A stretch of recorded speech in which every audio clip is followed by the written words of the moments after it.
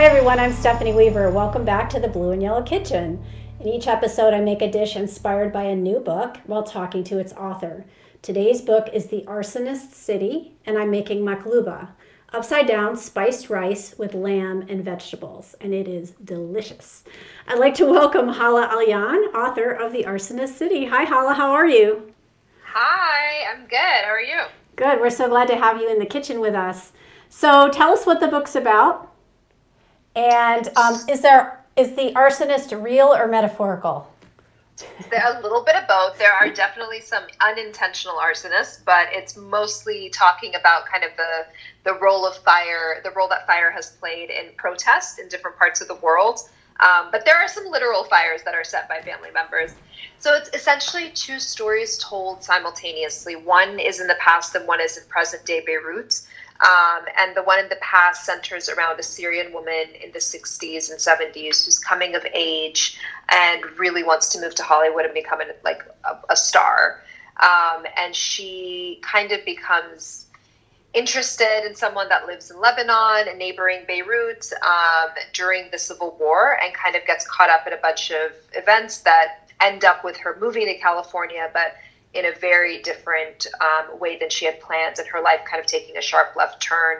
And then the present day story is her and her husband and their now adult children going to Beirut to try to stop the, the husband from selling the house.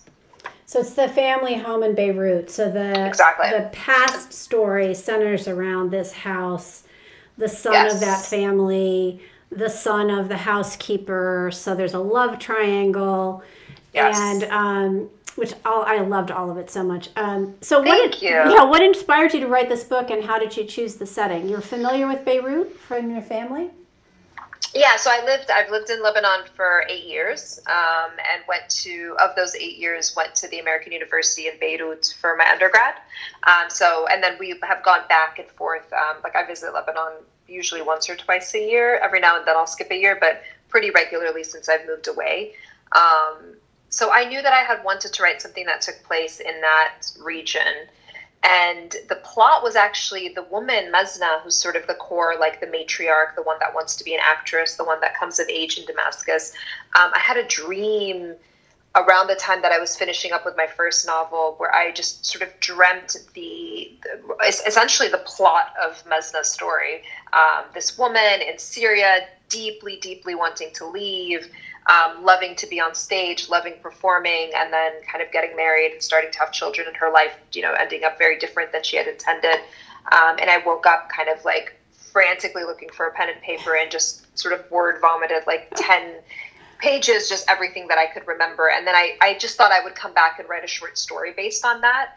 Um, and then kind of went back to Salt Houses, was doing the edits, was getting ready for publication and about a year and a half later started thinking about what i wanted to work on for my next project and just kept coming back to this like really vivid image of this woman that i had dreamt about um, and knew that i wanted her to be a core part of it. Well that's also awesome. So your first novel was called the, the salt houses. So that's what you were salt houses yeah. Yeah what you were referring to. Um, yeah. and so is there anything else readers need to know to prepare them uh, that you want to share before? It's a good question. I mean, I, I, guess you know it's one of those things where I, I definitely give some plot, like you know, fill in some of the plot just in terms of the socio-political situation, in terms of the Lebanese civil war and kind of the relationship, sometimes fraught and sometimes close between Lebanon and Syria and just that region in general. Um, but yeah, I mean, I, I do imagine that readers who have no knowledge of the background might at some point have to do like a quick, a quick Google search about a few things, but but I think for the most part, it's pretty covered in the narrative. Yeah, so I'm I'm one of those readers. I knew nothing about Syria or Lebanon, and um, mainly just kind of had the Middle East as sort of an amorphous blob in my mental map of right. Middle East. Right, right, right. Um, I would have just said, well, I love Middle Eastern food, but I wouldn't have been able to tell you like which country was Syria, which was Lebanon. I did right. Google the map because I was trying to figure out how far of a drive it was when they were driving back and forth right. and really right, kind of trying to understand. But it's not hard work. This is just a beautiful story with super rich, detailed characters. Um, the one thing I would say, um, with any cross cultural reading that I have found really helpful is to not be afraid to make a little cheat sheet with the names and who the people yes. are. Yes, um, totally. Because the totally. names are not familiar to me. I'm reading in a different culture. And the one that kept throwing me off is the son's nickname is Mimi, which is a female name in English. So I kept having mm-hmm. to remind myself, Mimi's a man, Mimi's a man. so then I've just made a little cheat sheet. So that's my little tip if when you're reading cross culturally, which I highly recommend because I learned so much about the region. Instead of it just being sort of this war torn, sad area, now it's you've really brought it to life for me. So I want to thank, thank you. you. That. Oh, God, I really appreciate that. Yeah, absolutely. Well, so the recipe I'm making today is authentic to the region. It's from Syria, Lebanon, Iraq, and Jordan everyone my understanding is everyone makes it a little bit differently. Everyone's mother makes it the best is what i'm hearing. And i've researched and made it about six times for this because it's it's not that it's difficult. It's a bit of a time consuming thing but there were some tricky aspects to the method that i, I will detail so you'll see my full recipe mm. and steps um, on my blog. Um, so it's authentic. It's just that i've kind of updated it in terms of method so it won't fail if you do try to make it um, and so we chose it because it's in the first scene of the book in the prologue, and it's also very common in Beirut. So Hala and I talked about what she thought I should make, and then she really loved this. It's also featured in Joudie Kalla's beautiful book, Palestine on a Plate. So that was the first place, the first one that I tried, and then I worked on some other recipes from some blogs, which and one of them I'll share in the comments, so you can go check out her. Hungry Paprikas has a beautiful blog. Um, so um, right before, so Hala's about to read, but what I'm going to do, so this is an upside down dish, and that means I'm flipping this thing. So I am going to put it there. Can you see it? Oh my God. Micro- this is very boy? exciting. You can see it? Drum roll. Okay. Oh All right. Hey. I'm going to set it down. I didn't spill it, so that's good. And then I'm just going to, you just kind of let it sit there.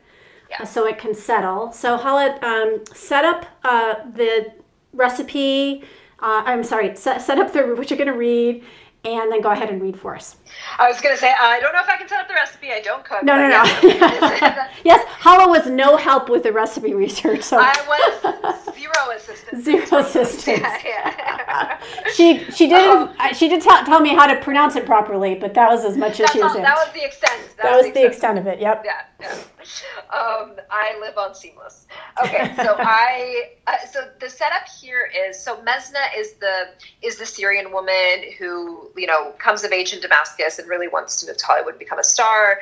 Um, in the seventies, she just through a, a, series of random events ends up meeting meeting a Lebanese man named Idris and a Palestinian man named Zakaria and their relationship to each other is that they grew up together, but kind of in unusual circumstances. In that Zakaria's mother was Idris's family's housekeeper, um, so they come from very different. He lives in the Palestinian camps. They come from very different worlds and socioeconomic backgrounds, but are very close. They become very close with Mazna too, so she kind of becomes the third in their little group. Um, and over the course of a few months and into a summer, in the 70s during the war, they spend, they're kind of inseparable, the three of them. Um, and there's there's some falling in love that's happening from Mazna's end towards Zakaria, and unfortunately from Idris's end towards Mazna. So there's a little bit of a love triangle thing going on. So this is them on a trip to. So again, this is Mazna on a trip to Beirut, um, where she is meeting a a woman that's that's important, a middle aged woman that's important to both of them. Great. This neighborhood is decidedly grungy. Many of the storefronts are graffitied with smiley faces and slurs, and a few barefoot children are playing marbles. At the end of the street, they turn left and Idris stops. Mazna looks up. They are standing in front of a tiny bakery, a sign in Arabic announcing Didi's Sugar. What's this? she asks. Idris smiles enigmatically. There's someone I'd like you to meet. He pushes open the door, a bell tinkles, and Mazna sees it's dangling from a dirty looking rope. The store is roughly the size of her bedroom. The rough tiles are concrete gray, and the ceiling is covered in water stains, but the glass display is sparklingly clean. There are rows of pink iced eclairs and cream puffs and cakes. The smell is incredible. Nobody is behind the counter, though Mazna can hear someone in the back.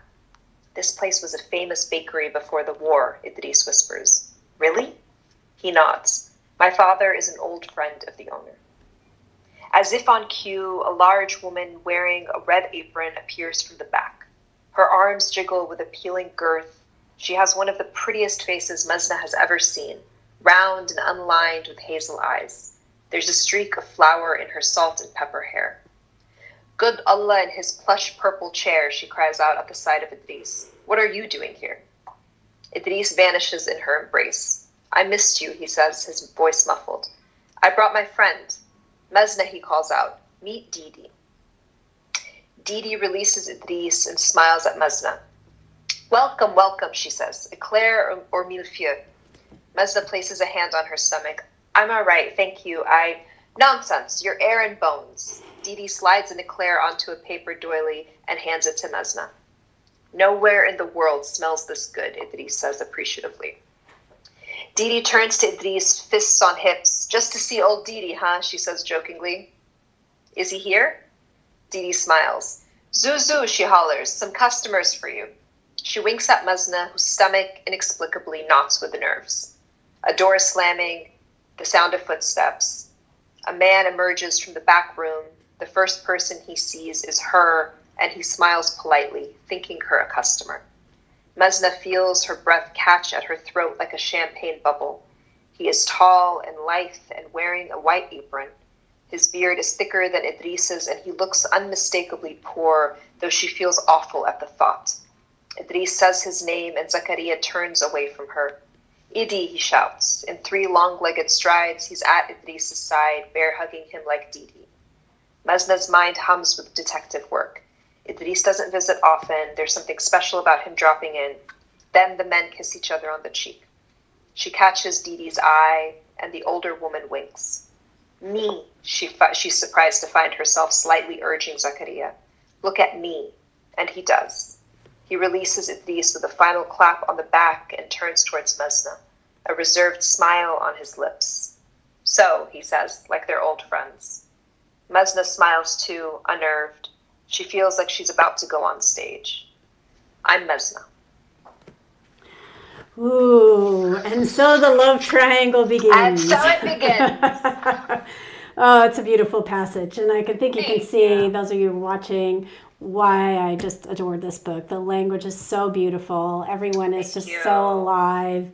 And um, and there and it's just a very rich story. So we're gonna see how this how this came out, this makloubeh. So I'm gonna I'm Oh. gonna try to not spill it over everything. All right. So we're gonna see.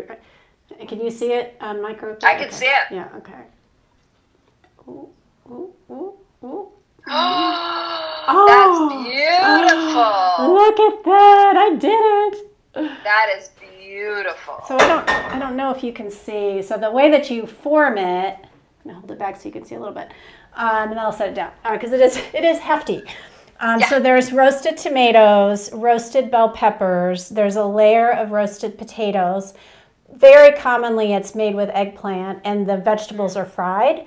But what I learned from multiple times times trying it is that if you're making the lamb stock, which and then there's a layer of lamb and onions, um, that takes an hour. So you can actually just slice all the vegetables and spritz them and brush them with olive oil and be roasting them while the lamb stock is cooking.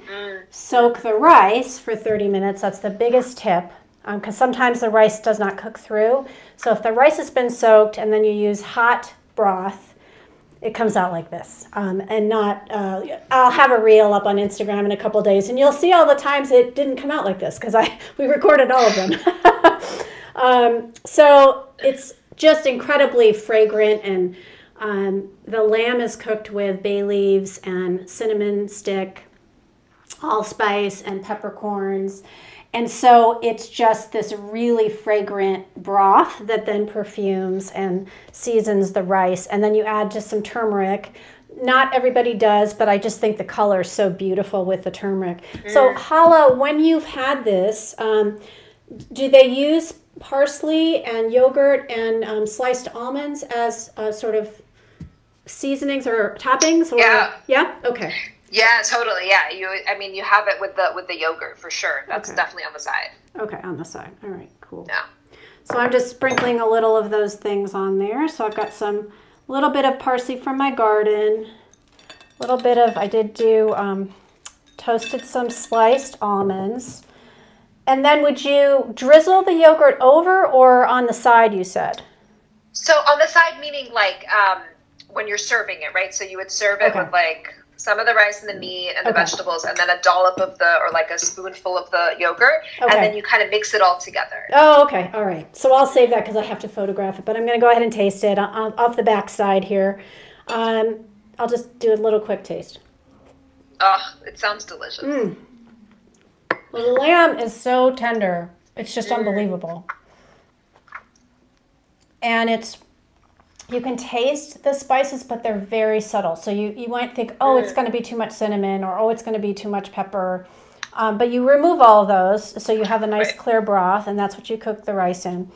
And it's really fun because you you never really know what it's going to look like because things kind of shift around a little bit as it's cooking. But the idea is that it's layered with the vegetables.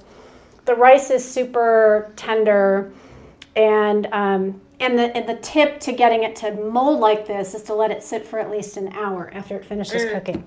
Um, that was not the case with all of the instructions online, but um, one person on Instagram basically like went out for a run and came back two hours later, and hers was, and I was like, oh, I'm gonna try that next time. So I'm not sure how it's made, you know, in in, in Beirut uh, necessarily, but if you want it to look like this, this is uh, this is what I did. Okay, great.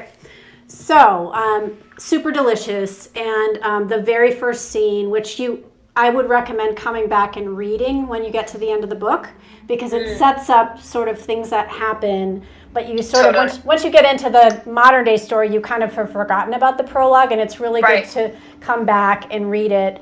And this is what his mother has made for him. Uh, Yeah. Zakaria's mother has made for him. So um, that's why I wanted to kind of set that up.